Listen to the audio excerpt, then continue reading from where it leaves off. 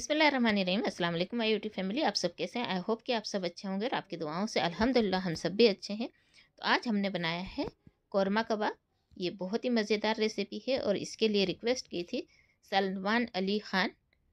तो सलमान अली ख़ान भाई, आपकी रिक्वेस्ट पूरी हो चुकी है और आपने कहा था कि हमारा नाम लीजिए तो हमने आपका नाम ले लिया है। इधर हमने एक फ्राई पैन रखा है इसमें चार टेबल स्पून तेल डाला है। इसमें हमने चार मीडियम साइज़ के प्याज काट के डाल लिए हैं। इन प्याज का अच्छे से कलर गोल्डन कलर आने तक हमने इसे फ्राई करना है।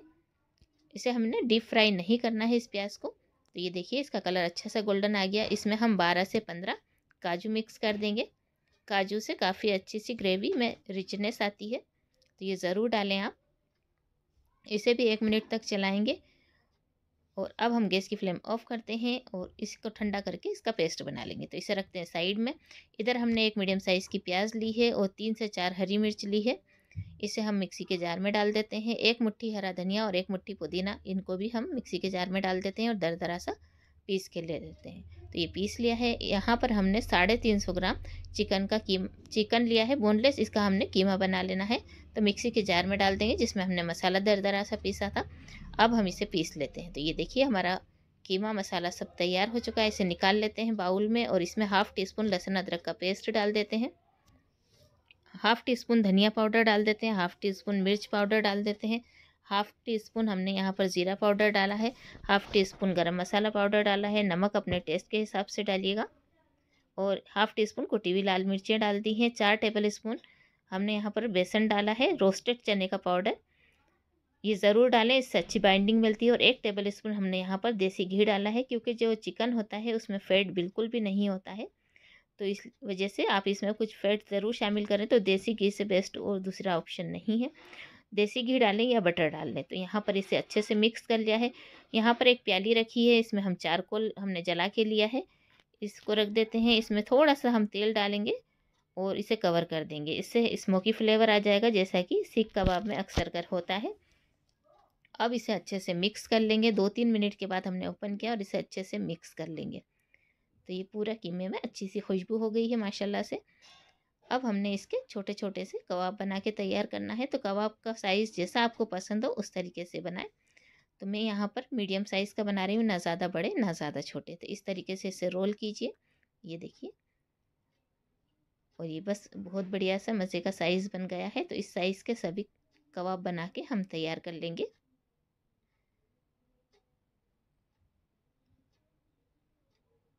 तो ये देखिए बड़े ही आसानी से बन जाते हैं और ये बिल्कुल भी टूटेंगे नहीं।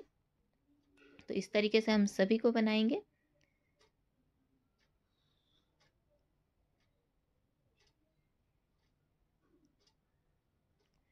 तो ये हमने सभी बना के तैयार कर लिए हैं। अब इसे साइड में रखते हैं और एक मसाला तैयार कर लेते हैं। तो मसाले के लिए यहाँ पर हमने डेढ़ सौ ग्राम दही लिया है। इसमें हाफ़ टी स्पून हल्दी पाउडर डालेंगे। डेढ़ टी स्पून धनिया पाउडर डाला है, एक टीस्पून लाल मिर्च का पाउडर डाला है, एक टीस्पून काश्मीरी लाल मिर्च का पाउडर डाल दिया है और नमक अपने टेस्ट के हिसाब से डालिए, ये ग्रेवी के लिए है। और यहाँ पर हमने ज़ीरे का पाउडर डाला है हाफ़ टी स्पून इसे साइड में रख देंगे अच्छे से मिक्स करके। अब यहाँ एक पतीला लिया है, इसमें आधा कप तेल डालेंगे, तेल सौ से सवा सौ ग्राम तक ले लें आप। और इसमें कुछ साबुत मसाले डालेंगे तो ये दो, दालचीनी के टुकड़े हैं काली मिर्च के दाने हैं आठ दस। ये एक फूल लिया है हमने, जवित्री का आधा। और यहाँ पर दो हरी इलायची ली है, एक काली इलायची ली है, दो तेज पत्ते लिए हाफ़ टी स्पून शाही ज़ीरा लिया है। तो ये सभी मसाले डाल के चटका लेंगे। अब मसाले चटकने के बाद इसमें डेढ़ टेबल स्पून लहसुन और अदरक का पेस्ट डाल के भून लेंगे। तकरीबन एक से डेढ़ मिनट तक भूनेंगे इसे। जब तक ये बिखर नहीं जाता, तब तक अच्छे से भूनना है ये अभी इस तरीके से ये देखिए, पूरा अच्छे से फ्राई हो गया है। अब जो हमने दही का मसाला तैयार किया था दही में, वो सारा मसाला डाल देंगे और इसे अच्छे से भुनेंगे। इसमें जो मसाला रह गया है, थोड़ा सा पानी डाल के हम उस मसाले को निकाल लेंगे बाउल में से। तो वो भी हम इसी में ऐड कर देंगे। तो ये देखिए, दही का पानी काफ़ी है अभी।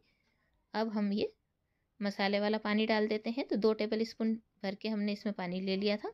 इसे अच्छे से भून लेंगे तीन चार मिनट तक। ये देखिए मसाला खुशक हो चुके हैं अच्छे से पानी। अब हमने ये दही और जो काजू का मसाला तैयार किया था, वो डाल दिया है। इसे भी हमने तीन चार मिनट तक अच्छे से भूनना है। काजू और मसाला, यानी कि प्याज को हमने पहले से फ्राई किया था, इसे इस बहुत ज़्यादा भूनने की ज़रूरत नहीं है। तो तीन चार मिनट तक भून लिया है। अब हम इसमें ये जो हमने कबाब बना के तैयार किए थे, इन कबाब को इस तरीके से इसमें लगा देना है मसालों के साथ। एक के ऊपर एक नहीं डालें इसे, साइडों से इस तरह लगा दें और इसे कवर कर दें तकरीबन तीन चार मिनट के लिए। गैस की फ्लेम लो रखें। अब हमने इसे खोलना है और इसे इस तरीके से पतीले को उठा के घुमा देना है। इसे अभी हमें चम्मच वगैरह नहीं डालना है। एक बार फिर से कवर कर देंगे इसे और तीन चार मिनट तक फिर पका लेंगे। तो ये देखिए कबाब हमारे सेट हो चुके हैं। अब हमने गैस की फ्लेम मीडियम कर लेना है। और इसे अच्छे से पाँच से सात मिनट तक भूनना है। जब तक कि इसका पानी खुश्क नहीं हो जाता और मसाला का कलर अच्छा गाढ़ा लाल हो जाता तब तक आपने इसे भूनना है। तो इसमें पानी ऐड नहीं करेंगे अभी हम बिल्कुल भी और इसकी अच्छे से भुनाई करेंगे। अब इसका टूटने का डर नहीं है बिल्कुल, यहाँ एक पाउडर, हाफ़ टी स्पून हमने यहाँ पर गरम मसाला पाउडर लिया है, दो टीस्पून हमने यहाँ पर चिकन पाउडर लिया है और थोड़ा सा हमने नटमेग पाउडर लिया है, दो पिंच हमने हरी इलायची का पाउडर लिया और डेढ़ टी स्पून कसूरी मेथी ली है। इन सभी को डाल के अच्छे से भून लेंगे। दो मिनट तक अच्छे से भूनिए आप। उसके बाद हमने यहाँ पर पानी को अच्छे से बॉईल कर लिया था। पानी गर्म ही इसमें डालें।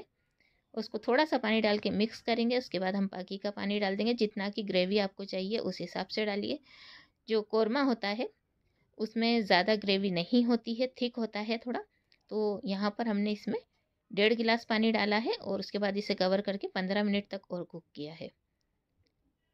तो ये देखिए, इसमें से माशाल्लाह से बहुत ही अच्छे से खुशबू आने लगी है।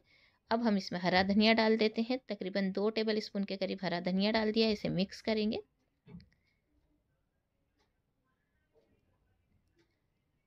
और उधर हमने चारकोल जलाने के लिए रखा था, रख दिया है। तब तक इसे और साइड में रख देते हैं हम, कवर करके।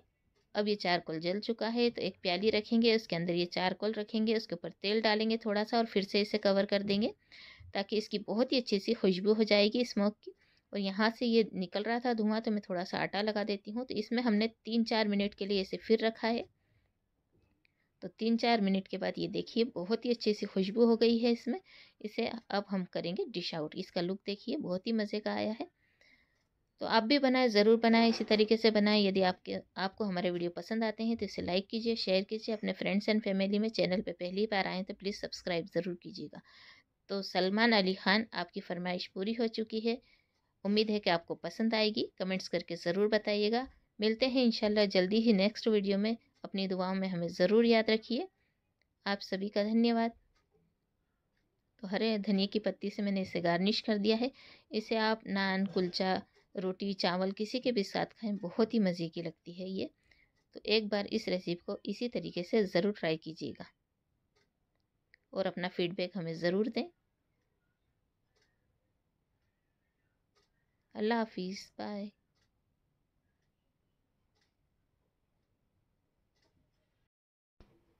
अस्सलाम वालेकुम माय यूट्यूब फैमिली। आप सब कैसे हैं? आई होप कि आप सब अच्छे होंगे और आपकी दुआओं से अल्हम्दुलिल्लाह हम सब भी अच्छे हैं। तो आज हमने बनाया है कोफ्ता करी, या कोफ्ते का सालन कहिए इसे। बहुत ही मज़े का बनाया और बिल्कुल सिंपल तरीके से बनाना बताया है। तो फटाफट से इसको देख लेते हैं कि इसमें हमें क्या क्या चाहिए और इसको किस तरह से तैयार किया है।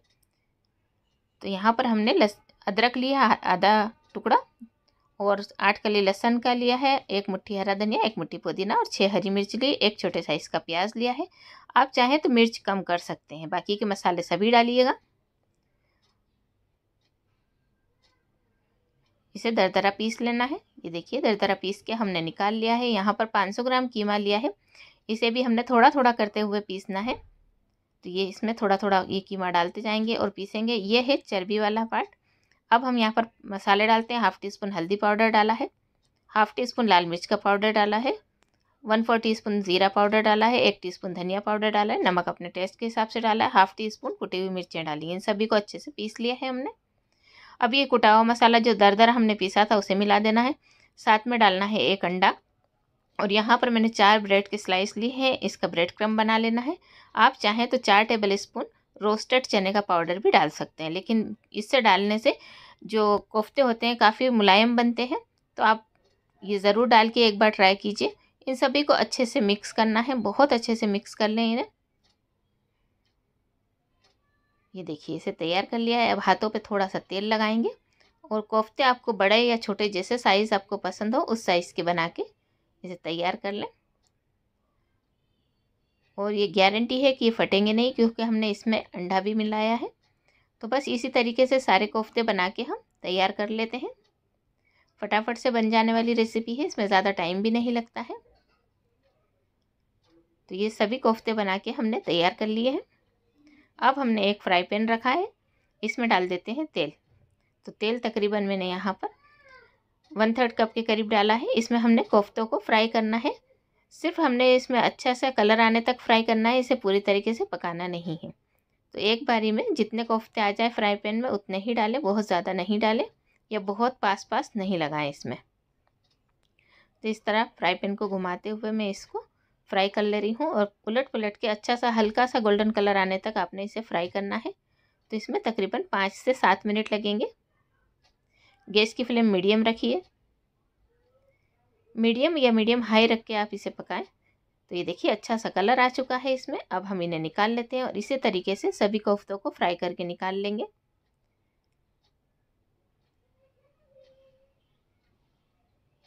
तो बहुत ही मज़े की बनने वाली रेसिपी है। तो इसी तरीके से सारे कोफ्ते हमने फ्राई करके निकाल लेना है और ये तेल हम बाद में यूज़ कर लेंगे। तो सबसे पहले एक पतीला रखा और इसमें दो सर्विंग स्पून तेल डाला है, एक दो तेज पत्ते के चार टुकड़े कर लिए हैं, एक दालचीनी का टुकड़ा लिया, एक बड़ी इलायची ली, आठ दस दाने काली मिर्च के लिए, चार लौंग ली है और हाफ़ टी स्पून शाही ज़ीरा लिया है, आप इसकी जगह सफ़ेद ज़ीरा भी ले सकते हैं। यहाँ पर हमने तीन मीडियम साइज़ की प्याज को पीस के ले लिया है, इस प्याज को हमने अच्छे से भूनना है, जब तक कि इसका कलर चेंज नहीं हो जाता। जो तेल हमने आपको बताया था वो कोफ्ते फ्राई किया था, वो वाला तेल इस समय डाल दें। इसीलिए हमने पतीले में तेल कम डाला था, ताकि ये तेल भी काम में आ जाएगा। इसमें काफ़ी अच्छे से फ्लेवर होते हैं। तो अब हमने अच्छे से इसे लगातार चलाते हुए प्याज को भून लेना है, कलर चेंज होने तक। तो यहाँ पर दो टीस्पून हम लहसुन अदरक का पेस्ट डाल रहे हैं। तो ये दो टीस्पून लहसुन और अदरक का पेस्ट हमने डाल दिया है। इसे भी अच्छे से दो मिनट तक भून लें। प्याज और लहसुन अदरक अच्छे से भून चुके हैं। अब हम यहाँ पर पाउडर मसाले देख लेते हैं। तो दो टीस्पून धनिया पाउडर लिया, डेढ़ टीस्पून लाल मिर्च का पाउडर लिया, डेढ़ टीस्पून काश्मीरी लाल मिर्च का पाउडर लिया, नमक अपने टेस्ट के हिसाब से लीजिए, हाफ़ टी स्पून ज़ीरा पाउडर लिया, हाफ़ टी स्पून हल्दी पाउडर लिया। मिर्च और नमक आप अपने टेस्ट के हिसाब से कम या ज़्यादा कर सकते हैं। इन सभी मसालों को हमने अच्छे से भूनना है, तकरीबन सात से आठ मिनट तक थोड़ा थोड़ा सा पानी डालते हुए इसे हमें भूनते रहना है। तो मैंने इसमें तकरीबन तीन से चार बार पानी डाल के इसे अच्छे से भुना था। दो दो टेबल स्पून पानी डालते रहें और अच्छे से भून लें। ये मसाले अच्छे से पक जाएँ तो आधा कप दही डाल देना है। दही एकदम फ्रेश डालें, बिल्कुल भी खट्टा दही यूज़ नहीं करें। इन सभी को हमने अच्छे से भूनना है। तो ये देखिए तरी आने लगी है। अब हमने इनमें ये कोफ्ते डाल देना है। जो कोफ्ते हमने फ्राई करके रखे थे, ये सभी कोफ्ते डाल दिए हैं। इनको सभी को अच्छे से मिक्स करेंगे, हल्के हाथों से करेंगे। वैसे ये फ्राई किए हुए हैं तो टूटेंगे नहीं। तो मैंने सभी कोफ्तों को अच्छे से उलट पुलट करके इसमें मिक्स कर दिया है। अब मैं इसे कवर कर देती हूँ गैस की फ्लेम मीडियम और लो के बीच करके पाँच मिनट तक हम इसे पका लेंगे। तो पाँच मिनट बाद आप ये देखिए, इसके साथ में मसालों का जो टेस्ट होता है वो कोफ्ते में चले जाता है। अब यहाँ पर एक टीस्पून फुल भर के हमने रोस्टेड चने का पाउडर डाल देना है। इससे मसाला जुड़ के रहता है, यानी कि पानी अलग और मसाला अलग इस तरीके का नहीं होता है तो ये इसीलिए डाला जाता है। इससे बहुत ही अच्छा सा पकड़ मिलती है मसालों को। तो इसे भी अच्छे से मिक्स करके एक मिनट तक चला लें। वैसे रोस्टेड चने का यानी सीखे हुए चने का बेसन है, इसलिए ज़्यादा उसे भुनने की ज़रूरत नहीं।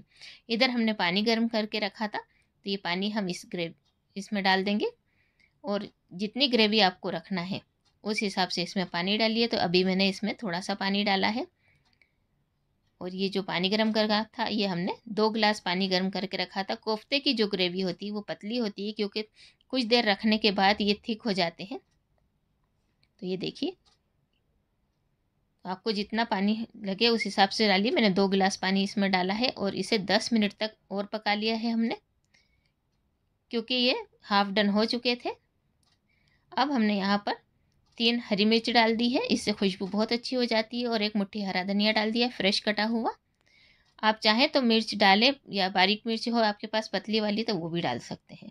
तो आप भी बनाएँ, ज़रूर बनाएँ, इसी तरीके से बनाएँ। यदि आपको हमारे वीडियो पसंद आते हैं तो इसे लाइक कीजिए, शेयर कीजिए। चैनल पर पहली बार आए हैं तो प्लीज़ सब्सक्राइब ज़रूर कीजिए। मिलते हैं इंशाल्लाह जल्दी ही नेक्स्ट वीडियो में। अपनी दुआ में ज़रूर याद रखिए।